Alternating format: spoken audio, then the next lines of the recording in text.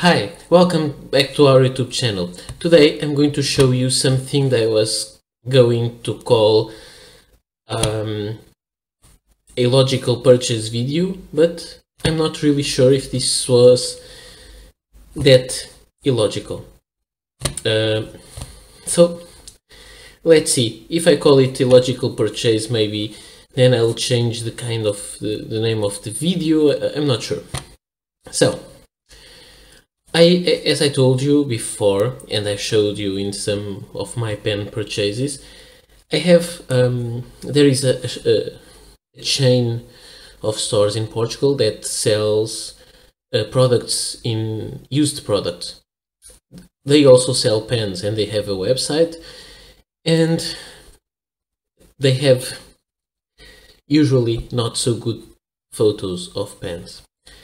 And I regularly check their website and they have pens that are really good, some pens that are really bad. Some pens are priced very fairly, others are strongly exaggerated, and others are not valued at all. This was one of those. And I went to their website and saw this pen being listed for 7 euros. And I thought, mm, why not? I saw that this pen has an engraving on the cap and this is something that would put me off buying the pen. But then I thought okay it is just 7 euros maybe I'll buy it even if it is just for parts because maybe I can save some parts maybe the section that I have another Parker 75 that needs a new section uh, or some or at least one part of the section and I thought maybe I'll go for it and I did and I risked it and I spent 7 euros and I got this pen and I'm quite pleased and surprised. One thing that came with this pen was this converter. I did not clean it yet so I have to do it. Maybe then I'll post a video about it after it is cleaned. You can see a lot of ink dried there and it is so dry that the seal pushes some ink but there is some ink left behind the seal. So I'll need to clean this and to clean these I'll have to unscrew the back part of the converter. Usually we can do it. Uh, I'm not managing to get it now. Maybe it's too stiff. I have to soak it in water. No problem. But just a converter like this usually costs around 5 euros. So I would say the other two were for the pen. And the pen is this beautiful Parker 75 in this finish which is called Grain d'Orge or um, barley corn and it is quite beautiful. Uh, the biggest problems with the pen is there is some abrasion here. I think it is abrasion, but I will see because I'll try to polish and if this comes out, this is not abrasion, it is just um, oxidized. As far as I know, this is a pen that is as a um, silver plating, but I'm not 100% sure. Oh, better. I'm 100% sure that it has a silver uh, plating, but I didn't know that I was not aware of that. But I'm not a, a big expert in Parker 75 pens. Let me try to focus. I don't know if I can focus these closely. It has the hallmark here. Uh, I didn't know they put hallmark, uh, they hallmark the silver plating just with silver plating. I thought just only uh, solid silver, but I don't think this is a solid silver pen.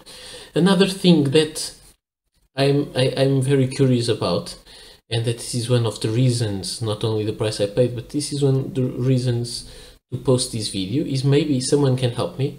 Why in the cap band instead of the usual sorry I have to hold it this still. Instead of the usual uh, letter for the date code is just an S. I found that um, online they there are some theories that say that the pens that have an S are some kind of special editions uh, or specially made for someone uh, I don't really know, but I would like to know if someone can tell me what this S may mean, because I can't find any reliable information. Otherwise, this is just a regular Parker 75. Uh, it has no cartridge inside or converter. Converter is there. Uh, the pen is in very, very good shape inside. The section is very good. I would say. And it has lots of dried ink. It has a fine nib. On the photos of the nib, they were like this. Out of focus and very dirty. I was not sure if this would be a good nib. But now that we look at it, we can see it is a Parker made in France, 14 karat gold and then the hallmark of the gold. Another thing that I noticed was the first time I got the pen when I opened it, pieces of uh, or flakes of dried ink fell down from the cap. So this was really, really, really dirty. Uh, and it is. I just opened and closed it uh, some more time, so maybe some of the ink flakes already fall, fell down. Also the tip of the arrow clip is oxidized there Maybe this is a kind of restoration project, it's more like a cleaning project, because I don't think there is something to be restored in this pen. Uh, I didn't try to write with it. Uh, I think I'll have to clean it because it's too dirty. There are some pens that I only put um, a new convert a new ink cartridge in it and I try to write with them and sometimes that liquid ink will dissolve the solid ink and pens will start writing, but I think this is too dirty for that. And I will try to clean it before. Maybe I'll make some videos about it, I don't know yet.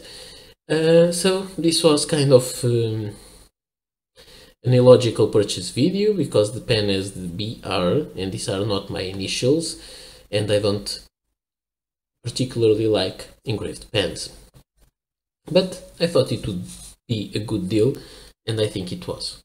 Um, if you know how the why these these pens were all marked if they are only silver plated because there are other pens that say that they are solid silver or say they are silver filled or silver plated this doesn't say anything of that so uh, how can I be sure? Why is that? Is that uh, is there a difference for Parkers that were made in France? I've seen different um, engravings in different pens, not Parker 75s, but in other pens that have some details here. Let's say sterling silver, and they say the content of silver, for example. And uh, also, uh, if someone can tell me what is the meaning of that S on the cap band, I would be very interested to know. I really do not know and I'm very curious. So, this is all for today. I hope you liked the video. I hope you will come back for more videos like this. If you know anything, type your message on the comment section below and be sure you subscribe our YouTube channel for receiving the notifications of our new videos. See you next time. Bye.